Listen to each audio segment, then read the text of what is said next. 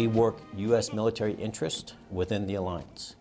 And that's everything from things that we want to see happen to things we're working with our allies. Our job is to represent U.S. military interest uh, in the alliance and represent the chairman. It sounds very political. It's a combination of both.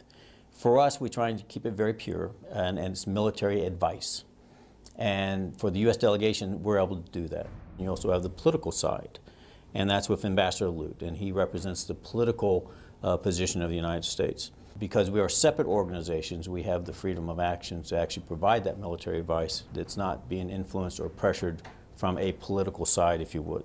If everything works the way it's supposed to work within our processes, we do the interagency, where you have all the elements of our government to come figure out what the final policy is going to be. And then when you have a military aspect of it, you have a political aspect, they're synchronized. And then we work that through the military committee on the military side, and then the ambassador and his folks work it through at the North Atlantic Council on the NAC side. It's one of those uh, really fascinating jobs because you're dealing with all aspects of not just the military advice, but understanding the political and the policy and all the other things that go with it. And then multiply that by 27 because you've got 27 other nations that are doing the same thing. NATO has relied heavily on the U.S. for leadership in the past, and to a certain degree, even today. How do we strengthen leadership capacity of other members in NATO? It's a great question, first of all. And there's really two avenues as I look at it after the last two and a half years of doing this job. One is within the NATO uh, international military staff itself at NATO headquarters in Brussels. And what I've seen over time is some of the newer nations or some of the smaller nations are actually getting some of these key positions within the military staff. To me, that's wonderful because it, it, it forces that that interaction with all the alliances, and it gives them the opportunity to kind of get that experience. When you look at today's environment, uh, especially with uh, the actions by the Russians in Ukraine and Crimea and some of the things that they've been doing uh, that have actually really concerned our Eastern allies.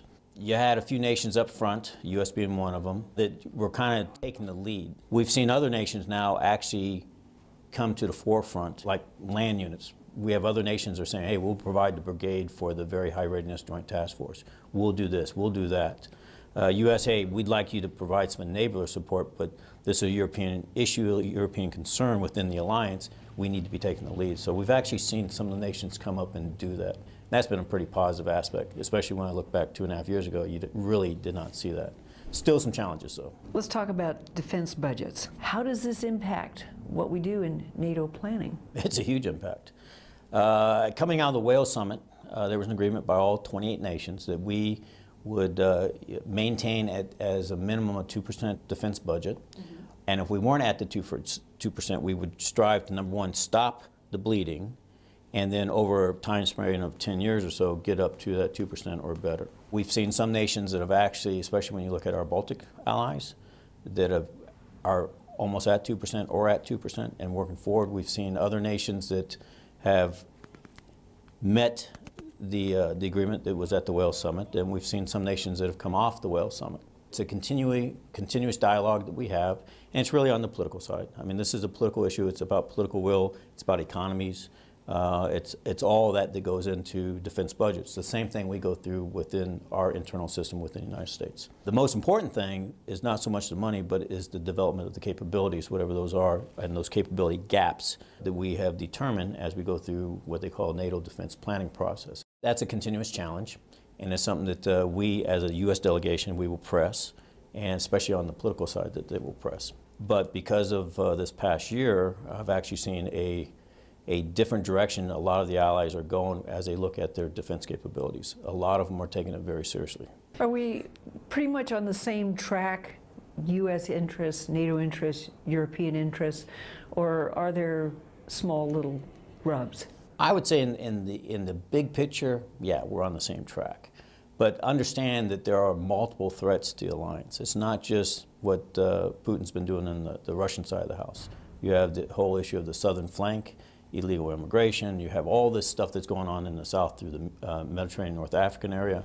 You have the Islamic ISIL and the things that they're doing, uh, and it's a direct threat to folks here in Europe.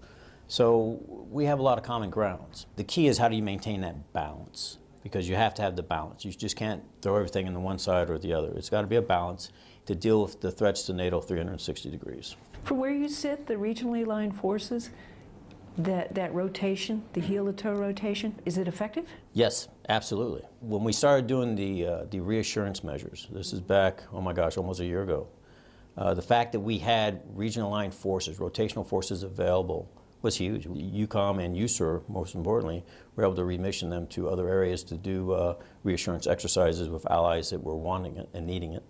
And so, yeah, absolutely huge. What are you learning in this job that should be, could be shared with the rest of the U.S. military that would make them a little bit smarter? I think number one is when you look at it from a military perspective with our allies, um, we have some great uh, allies and partners. Can't forget the partners. We're all the same mindset for the most part. We know what's required, we know what needs to be done, we know about interoperability, we know about the value of training. The challenge, just like in any nation, to include our own, is, is the political will. And so put that aside and focus on the things that you control, which is working with your partners and your allies in the training environments that we are, or even in the operational environment. There's some strong relations, and it is about relationships. And we will struggle through the, the differences in types of equipment and technology, but we're getting better, and, and, and be, we're getting better because the last you know, 13 years that we've spent uh, dealing with the Afghanistan issue. Now we're at a, a critical point where we now need to transition to that next phase of, of how we do military operations as an alliance. And it's a two-way street. We learn from our allies, and our allies learn from us.